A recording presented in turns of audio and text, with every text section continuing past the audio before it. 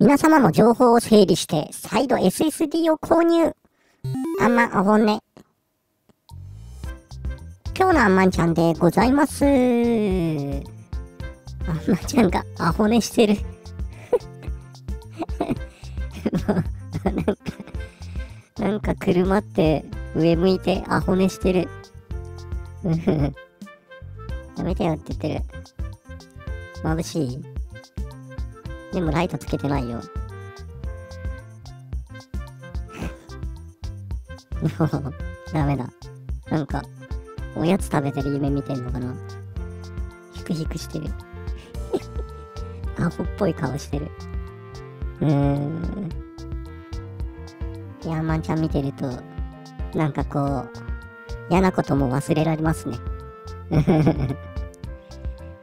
それでは、本編スタートです。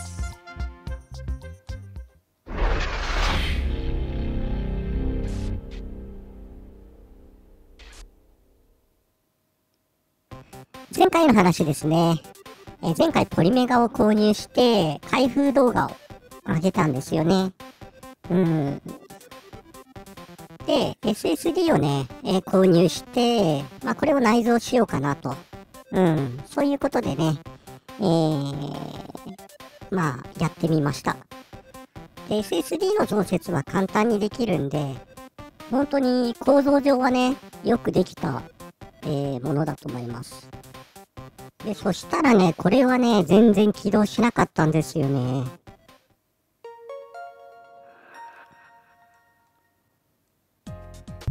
どうも、プニです。お元気ですか？えー、今日はですね、えー、ポリメガ再チャレンジということで、ちょっと指紋だらけになってるね。まあ、それは置いといて、え今回ね、買ったのがこっちです。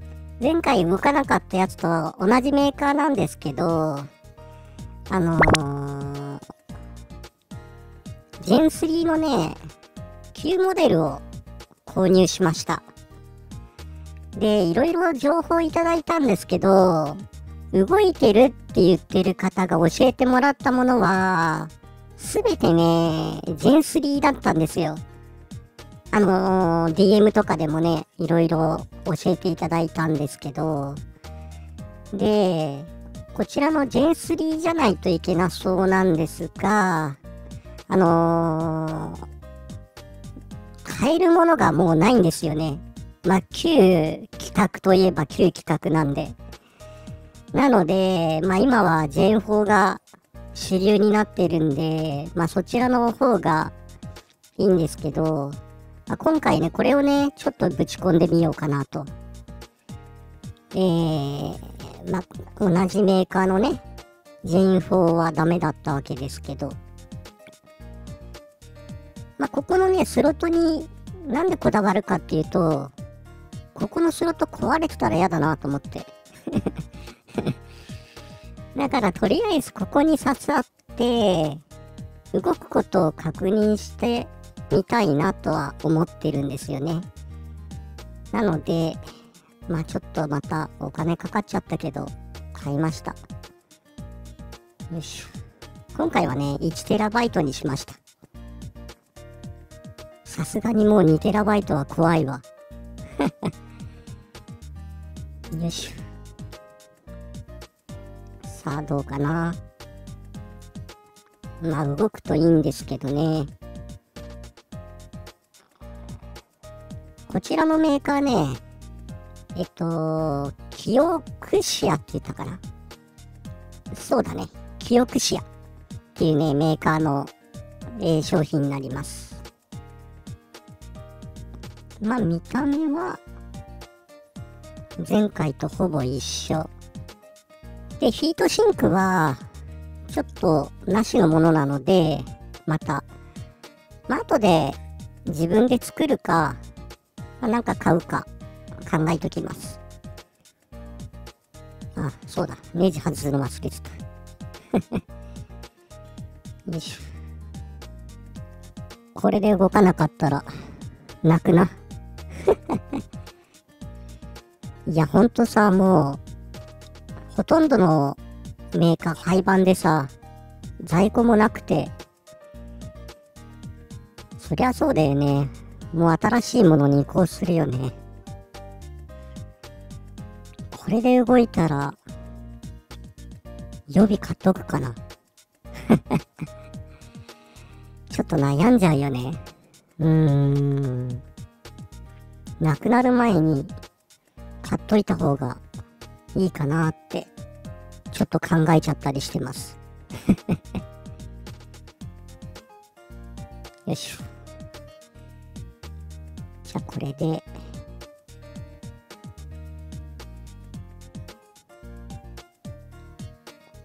よしさあ。もうねなんか体調悪くてね握力が弱まってんすよね今ね。さあ。どうかな。いやドキドキすんな。動くかな。あでもねこのまあ唯一売ってる商品をまああのこれで動いてますよって言ってくれた人がいましてですねまあ実績がある商品なんであのー、まあ安心はしてるんですけど、果たしてどうなるかな。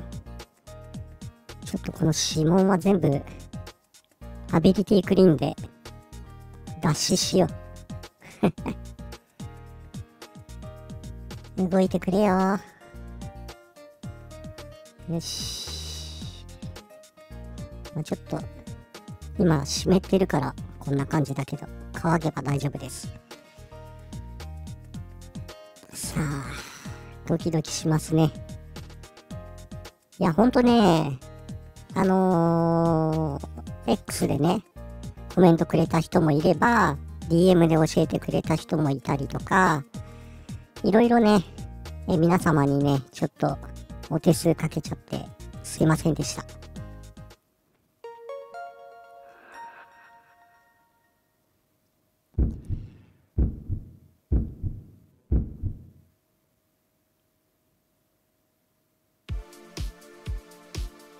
さあどうかな？あ、来た。やった起動しました。サクッと起動した。うお。いや嬉しい。やっと動いた。えっとどこで管理するんだっけ？と設定だよね。そうだそうだ。このストレージですね。あ、認識してる。フォーマットされてないディスク 1TB。あ、そうだ。決定ボタン書いてたんだ。えっと、ちょっともう一回。フォーマットで、はい。で、方向キー右押しか。お、早っ。あー、フォーマットできました。普通にできるわ。嬉しいわ。なるほど。で、えっと、1個ね、インストールしたんですよ、ゲームを。えー、ドライブがね、大丈夫かどうかだけ確認したんですね。ディスクに傷がつくっていう人もね、前に X でポストしてたんで。で、この入れたゲームを、今増設したメモリーの中に移設ができるかなこれができないとすると、意外と不便だよな。もう一回入れ直さなきゃいけないっていうことになるもんね。あ、でもメニューがないわ。あ、ダメなのかなうわ、ダメそう。そっかなるほどね。まあこれもなんかセキュリティのためとかそういうことがあるのかな。うーんなんかねこうやればできますよってわかる方いたら教えてください多分私の今の見解だとできなそうだなっていう、えー、状態です。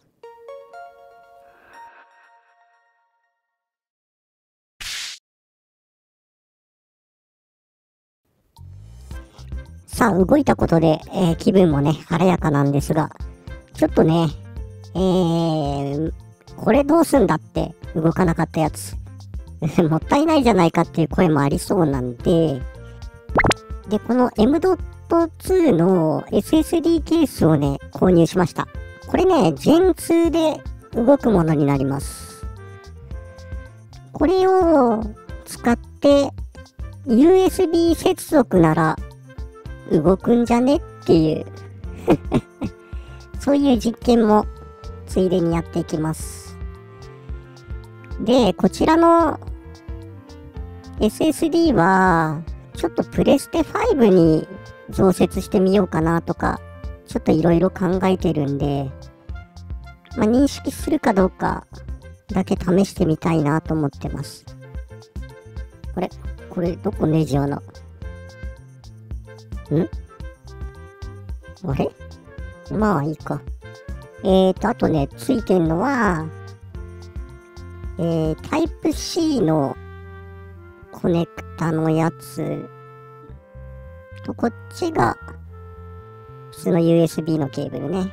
こっちはタイプ C。両方とも。ああで、ドライバーもついてる。で、えー、熱伝導シートね。あ、ここか。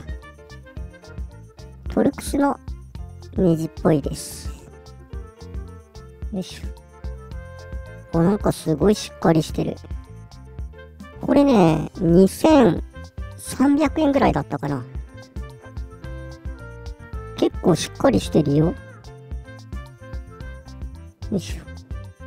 じゃあこれ使ってみましょう。また。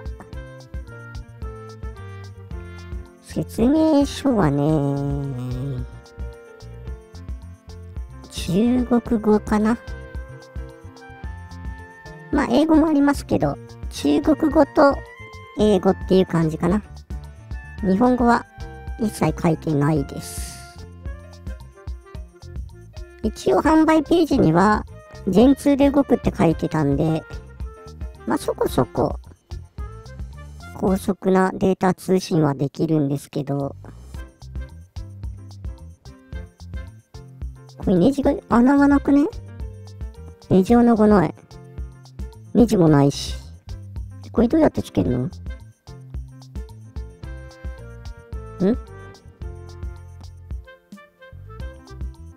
え？ないよねネジ穴。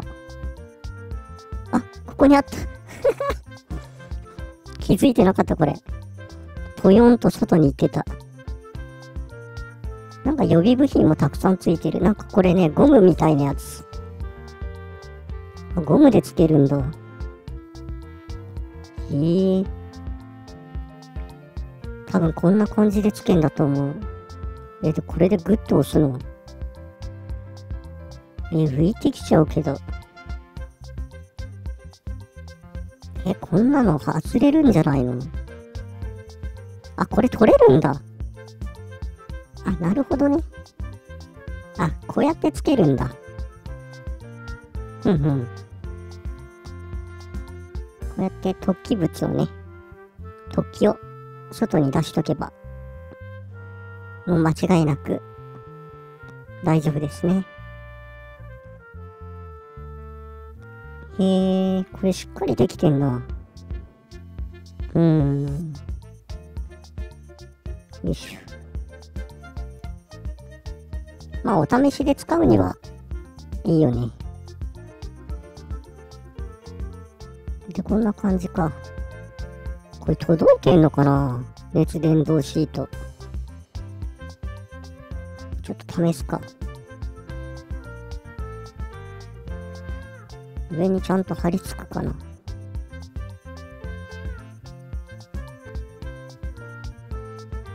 いしょ。どうかな？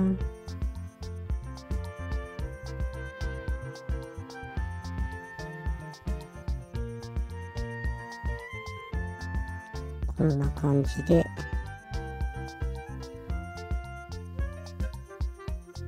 うん。くっついてるわ。やべえ。剥がれねえ。あ、剥がれた。大丈夫ですね。じゃ、これで、よいしょ。つけてみよ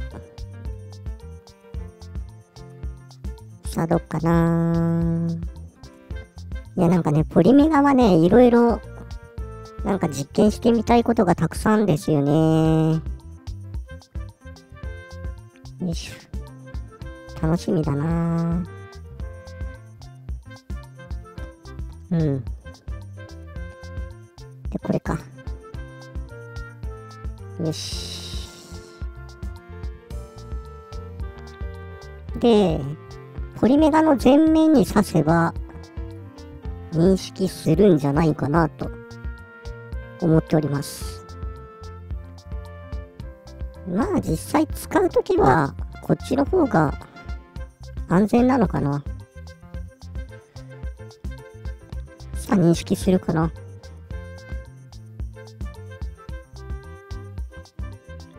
どうだろう。あ、認識してる。すげえ。まあ、こういう使い方もあるね。うーん。なるほどね。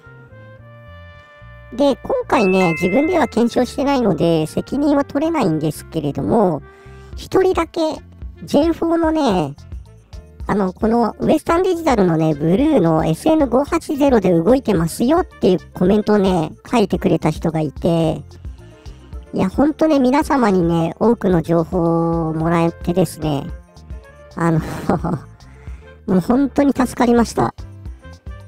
ただ、あの、先ほども言いましたけど、J3 の M.2 の SSD が、もうやっぱりメーカーも作ってないですよね。だからどんどん品薄になっていくんで、もし確実に動作するものが必要とか、例えば 2TB のものが必要とか、えー、まあ、考えてるなら、今のうちに買っといた方がいいかもしれないですね。うーん。あと、予備部品。予備部品っていうか、まあ、故障した時の交換用とか。そうすると、まあ、中にね、内蔵した形でできるとは思うんですけど、まあ、最悪 USB ポートから使うっていうのはありだとは思うんですけど、うーん。だからね、動くなら 2TB 買っといた方がいいのかどうなのかなって、ちょっと悩んで、もやもやっとして、今回ね、えー、動作確認が取れました。皆様本当にありがとうございました。今日もご視聴ありがとうございます。よかったらね、チャンネル登録、コメント、評価いただければ嬉しく思います。いやー、難しいね。